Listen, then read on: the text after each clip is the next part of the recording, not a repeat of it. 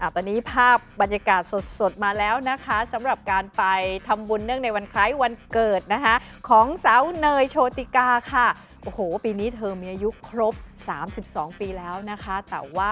โอ้ยังสวยไม่สางเลย30ยังแจ๋วค่ะ ค่ะ ซึ่งอ่าวันนี้นะคะไปทำบุญวันเกิดที่วัดโพค่ะ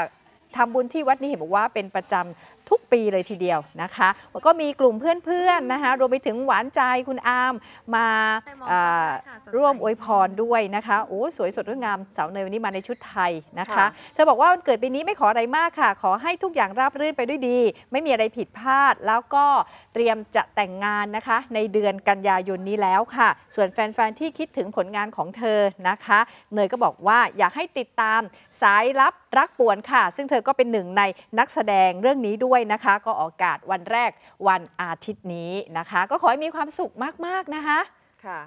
ชอบตรงที่ทุกคนแต่งนุ่งไทยกันมาอืมทำบุญนะคะ ค่ะ สวยงามแล้วก็รักษาประเพณีที่ดีของเราค่ะ